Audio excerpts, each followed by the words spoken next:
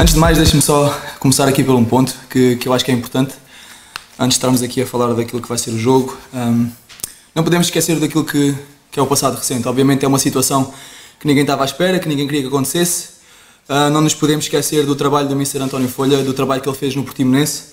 O futebol muitas vezes é efêmero e tem tendência para esquecer as coisas, mas os resultados que foram alcançados, os recordes que foram batidos e os pontos que foram conquistados, isso ninguém, ninguém pode apagar. E eu sou extremamente agradecido, em primeiro lugar, à SAD que me deu esta oportunidade, mas também ao Mr. António Folha, ao Rui e ao Fábio, que me convidaram para vir aqui e, e se estou aqui hoje é, é, graças a eles. Também deixaram uma palavra de incentivo aos, aos sub-23 que estão a jogar neste momento, não sei qual é o resultado, mas espero que consigam alcançar uma, uma vitória. Pronto, siga. E era precisamente por aí que eu ia até ter começado. Até há uma semana, precisamente a esta hora, estava a dirigir o, o treino sub-23, amanhã dirigir a equipa principal no Jamor. Como é que foi esta semana? Foi uma semana normal, uma semana de trabalho. Uh, futebol, seja no sub-23 ou na equipe principal, é futebol. Portanto, encarei isto de uma, de uma forma normal fui sempre bem recebido pelo grupo, por, por, toda a parte, por toda a gente também na estrutura. Portanto, encarei isto como uma semana de trabalho normal. Mas com, mas com outra carga ou não? Um bocadinho só.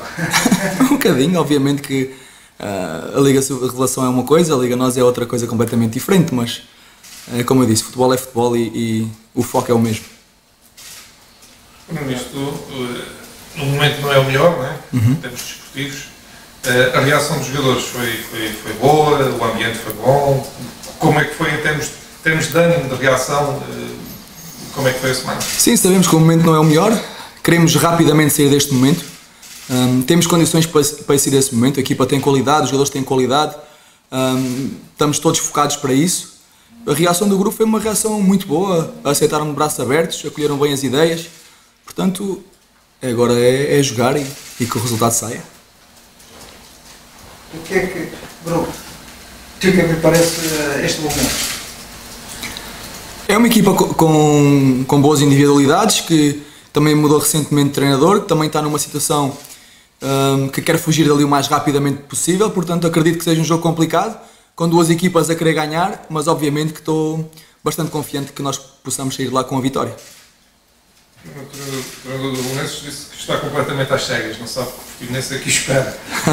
vamos ter um Portimonense muito diferente, vamos ter uma linha de continuidade, ou isso é secreto? Não, não é secreto. Acho que nem, nunca se pode, para já nunca se muda tudo numa semana, isso é, é ponto assento. E depois também nem tudo estava mal feito, nem tudo são coisas negativas, há coisas muito positivas e temos que continuar a, a, a levar essas coisas positivas em frente e obviamente que ah, cada treinador tem o seu cunho pessoal, tem a sua ideia própria e vamos mudar uma coisa aqui ou ali, mas as coisas estão bem feitas, é para continuar. Como é que a equipa está?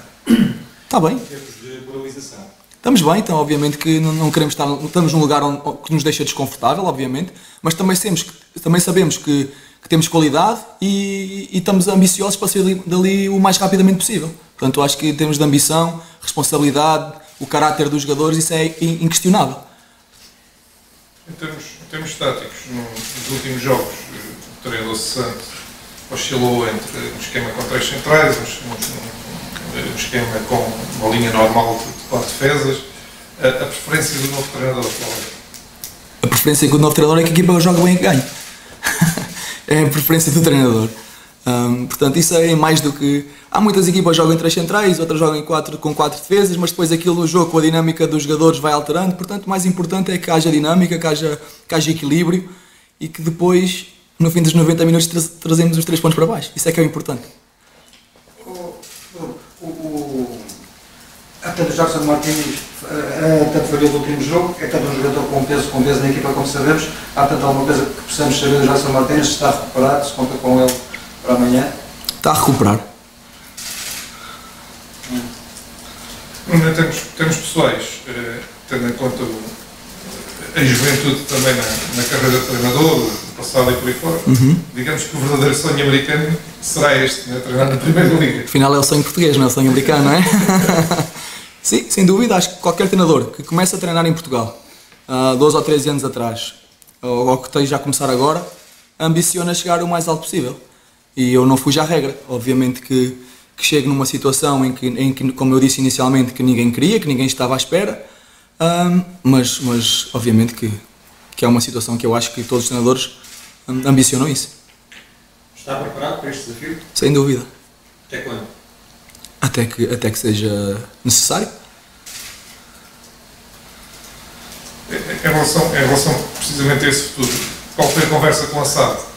Eh, Até o fim da época, jogo a jogo, qual foi a vossa conversa, digamos? Ouça, é que o- pode saber. Ouça, O futebol eh, falava-se muito dos, dos contratos, fala-se muito disto e daquilo, e depois passados os resultados não acompanharem, não é? Portanto, isso, isso é um assunto que a gente não, não sabe, sabe, sei lá, se é, se é uma semana, se são duas, são dois ou três anos, sabe, não sabe. É, é irmos trabalhando. Podemos saber qual é, quais são os convocados para este jogo? Ainda há ali algumas dúvidas. Portanto, não vão ser divulgados os convocados, exemplo. Não, não vou ser. Não, não. Tá bem. Ah, ah, já agora, só portanto, em relação ao botico clínico, não há tantas alterações. É o, Já está atualizado. já está atualizado. Mantém-se mantém na mesma com, com, eh, com o Jackson. Com o Jackson ainda. Jackson Martínez, eh, a questão de preparado como Está a recuperar, mas ainda não está.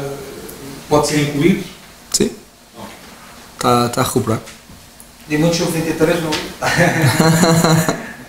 Vamos ver. Sub-23, pode- sim, acho que tem alguns do Sub-23, tem. A lista tem sempre. Acho- E acho que já tinha Sub-23 na lista Já também. tenho, já tenho. já tenho. Estava a brincar um bocadinho.